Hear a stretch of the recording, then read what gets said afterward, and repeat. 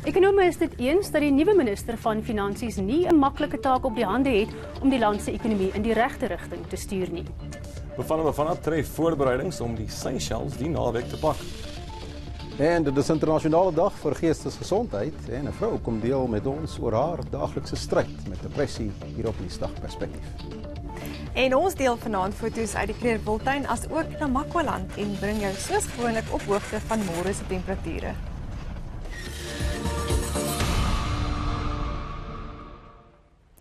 Die markte reageer steeds positief op die aanstelling van Tito Mboweni as minister van Finansies. Dit gaan egter nie 'n maklike taak vir die voormalige goewerneur van die Reserwebank wees nie. Die land is reeds tegnies in 'n resessie. Die vraag is, wat sal Mboweni moet prioritiseer in die huidige ekonomiese klimaat? Now raise the right hand and say please help me God. So help me God. Die vieringe is pas verby en sommige ekonome is versigtig optimisties. The Rand strengthening shows you that the market was very happy with the new Minister of Finance, Mr. Tito Mboweni. And I think if we look at the bigger picture, uh, it is a good choice. And because it's a good, uh, seen as a, a, a, safe pair of hands, the markets know Mr. Mboweni. I don't think the market reaction was going to be anything else but positive. Doch is daar steeds kommer oor die land se ekonomiese vooruitsigte. People were expecting that he will be elected, and that continued, you know, up until February or so, you know, where the guy was elected and he became the president of the country. But at some point, all that, you know, started fading away, and we can take it from the business confidence started going down, and we know all know that what happened to our economy, the first six months of our economy, it was a bad one.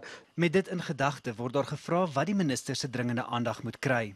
Fortunately, there's a midterm budget coming on the 24th of October, but the work towards that, it has already started, but we've got someone that when he delivers that, the market, international market, the local, they will believe in his statement. And I think that's the most important thing for people to believe, you know, in what you are saying when we are delivering that. So for me, that's a foregone conclusion that people will be happy with him when he delivers that. But we've got a very high debt um, to GDP ratio of almost 53%. We have to make sure that we take that down. Schizler en Masilela voel ook dat langtermyndoelwitte uiters belangrik is. The first one is the bringing down the government deficit. The second one is finding uh, priorities in spending that will better suit the economy and will help uh, generate growth.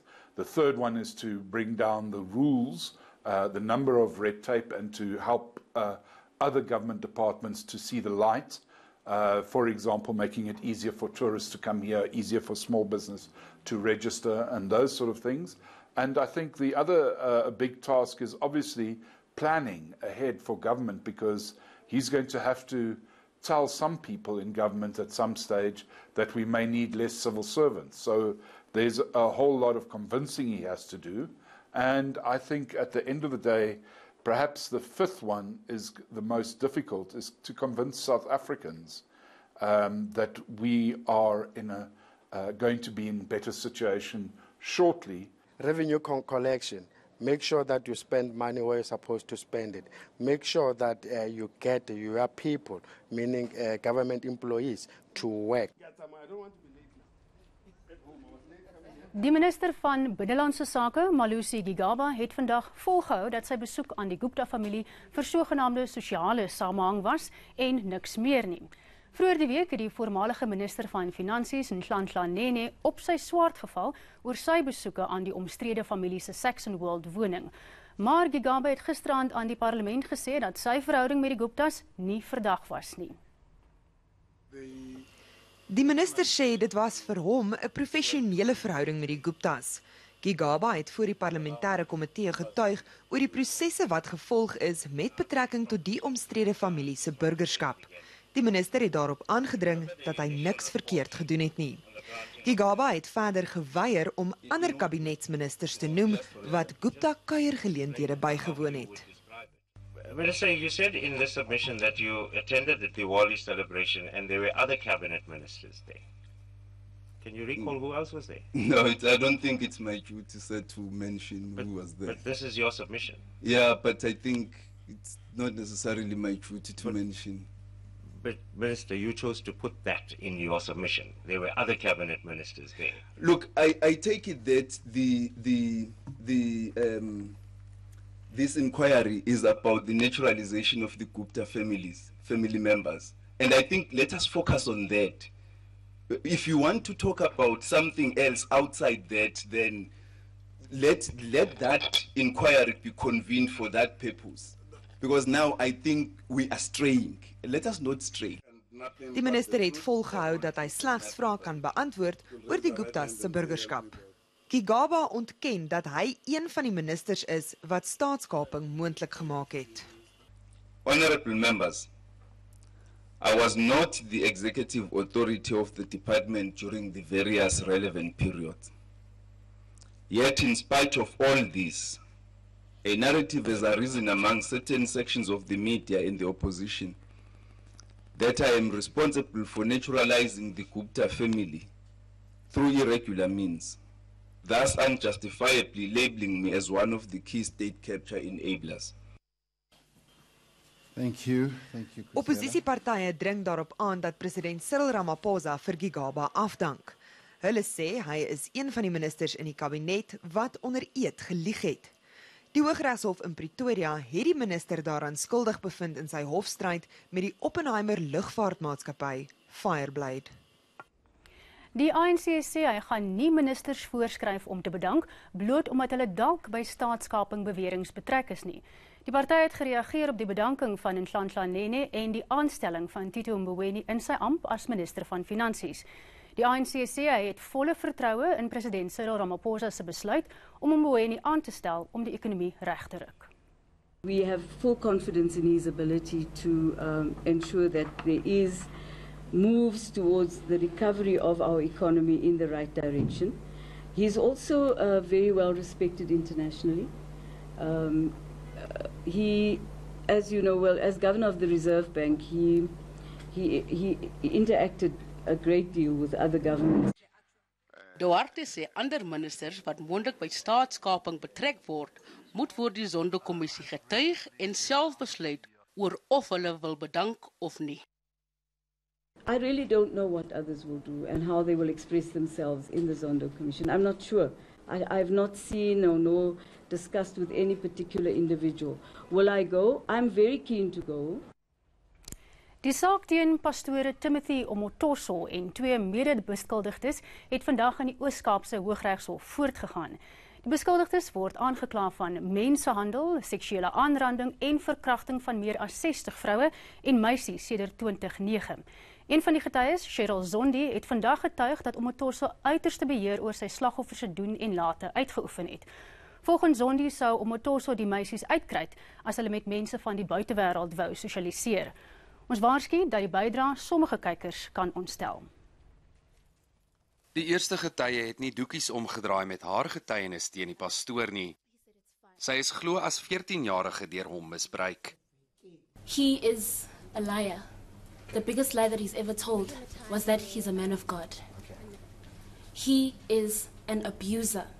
He is a predator. He does not care about other people's feelings. He is narcissistic. and the world revolves around him. Yes. If ever you are around him, you have to make him feel special. Volgens Zondi is sy tydens haar eerste besoek aan Omotoso se huis op Umhlanga na die slaapkamer geneem. Sy het getuig dat sy toe nog gemaagd was en onseker oor wat besig was om te gebeur toe hy homself teen haar gevryf het totdat hy 'n orgasme gekry het. While he was snoring next to me, I could only listen to my heart beating it felt like forever. He was just sleeping, he was gone, and I was just laying there next to him, not knowing what to do next. Zondi sê die pastoor het al die meisies se doen en late gemonitor. Hulle moes hom tot 5 keer per dag SMS. Hulle moes ook ten alle tye skoon en versorg wees en het slegs een ete per dag ontvang. I was not allowed to make contact with males other than my family members because of his insecurities if I looked at someone who was male in the church, I would get in trouble. I would have to beg and plead for my life. He would call me stupid and I would say I'm stupid until he forgave me. Na 2 jaar het Zondi se ma haar gedwing om die huis te verlaat. Sy het in depressie verval en 'n mislukte selfdoodpoging gehad. Sy is as 19-jarige terug na die huis toe met die hoop dat sy die trauma kan verwerk maar is weer aan dieselfde mishandeling onderwerp. Sy het 3 maande later ontsnap. Die Weskaapse regering het in 'n brief aan die minister van Polisie, Bekkie Cele, gevra dat alle vakante poste in die provinsie dringend gevul word. Die premier Helen Zille en haar provinsiale kabinet sê die jongste misdaadsyfers toon duidelik dat daar 'n tekort aan polisiebeamptes is. Zille het vandag tydens 'n perskonferensie gesê dat daar op 'n jaargrondslag 'n toename in die aantal moord en poging tot moordsake in die provinsie was. Zille sê hoe meer polisiebeamptes daar in gemeenskappe is, hoe beter. Na die provinsiale kabinetsvergadering het sy die polisiedepartement 30 dae gegee om te reageer op die versoek. That in the areas that are most affected by these categories of crimes, the police are most under resourced, and that this now has to be fixed. We have made the extraordinary offer of supporting the police with resources that are stretched to the limit to help with rail safety, to help with police reservists, and to help with school safety. Verlede week het honderde mense die strate ingevaar om te betoog teen misdaad en bendegeweld. Die Total Shutdown beweging het 'n griefskrif aan die nasionale en provinsiale regering oorhandig waarin hulle versoek het dat daar meer polisie na bendeverwante areas ontplooi moet word. Die LER vir gemeenskapveiligheid Dan Plato sê hulle werk tans deur die griefskrif. Ek weet net dat ons departement het ook ehm, 'n um, set van demands ontvang en ons amptenare is besig om daardeur te werk en uh die organiseerders sal wel ons antwoorde ontvang. Inwoners het aan Nuusdag verduidelik dat daar te veel namens hulle gepraat word en dat die regering hulle nie betrek by gemeenskapskwessies nie. Die gemeenskap van Menenberg sê sosio-ekonomiese probleme soos werkloosheid, misdaad en bendegeweld is 'n daaglikse realiteit. Ja, is 'n ewige probleem en my bekommernis is dat die niks die volgende generasie gaan nie eintlik fondamente hê om op te staan nie met die doel dat die ouers as 'n voorbeeld vir hulle nie. Want as dit bende geweld is, ek kan vir jou sê my die bly oop. Vir as hy kinders uit die skool uitkom, dat daar exit is vir hulle om in te hardloop as die skool te kom. Hier's niks veiligheid nie, hier's niks recreation nie, hier's die parke nie. Craigley Smith vir Nuusdag in Kaapstad. Die 18-jarige Maxime Lee van Port Elizabeth het 'n klag van crimen injuria by die polisie aanhange gemaak. Die klag volg na haar toesighouer by die Tekkie Town haar vir 'n uur in die winkel se vertoonvenster laat staan het met 'n geskrewe boodskap om haar nek. Roslyn Klasen het die storie. Maxime Lee het eers gedink dat die opdrag van haar toesighouer by Tekkie Town in die Bay West winkelsentrum dat sy in die vertoonvenster moet staan teen aanskoue van mense wat inkopies doen 'n grap was. Sy het egter verneder en skaam gevoel toe die toesighouer haar hande vasgebind en haar mond met kleeflint toegeplak het. At first, I laughed along with everybody because I didn't know what to do. But afterwards, when people started laughing and taking pictures of me, I felt embarrassed and humiliated. And will you go back to uh, Tekika? At this point in time, I can't say if I'll go back because I'm currently seeing psychologists and it will all depend on how it goes. Ons het groot geraak. Van jou kind is my kind.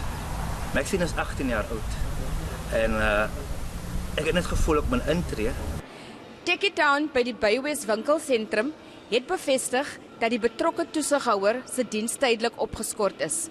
Die maatskappy het op hulle Facebookblad ook aangekondig dat landwyd gaan 'n interne bewusmakingsprogram begin word sodat die waardes versterk kan word dat almal mekaar met respek en waardigheid moet behandel.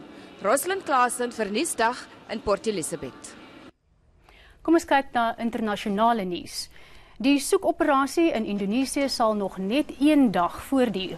Môre sal die laaste dag wees waarop nooddienswerkers nog na slagoffers van die verwoestende aardbewing en tsunami sal soek. In Balarua het daar meer as 17000 huise in die modder weggesak en stootskrapers word ingespan om die liggame op te grawe. Die sterftesyfer is reeds meer as 2000. Dit is nog nie duidelik hoeveel mense vermis word nie, maar die owerheid vermoed dit kan tot soveel as 5000 mense wees. Minstens 9 mense is dood op die Spaanse eiland Mallorca na swaar reën en vratsoorstromings. Ongeveer 12 mense word nog vermis, hoewel die Spaanse owerheid nog nie die name van vermistes bekend gemaak het nie.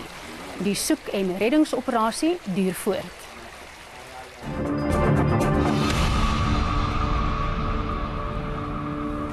Marisou Brand van Belwel het vir ons 'n foto gestuur en dit lyk amper of die wolke 'n glimlaggende gesig vorm. Resou beloof dit is 'n natuurlike verskynsel en hy het glad nie aan die foto gepeter nie. Dan lyk dit of die reën in aantog is. Hannes de Tooi het die foto vir ons al die pad uit na Makwaland gestuur. Ons hoop dat daar 'n heerlike reënby sal uitsak. Ronel Pinard het vir ons 'n mooi foto uit Franshoek gestuur.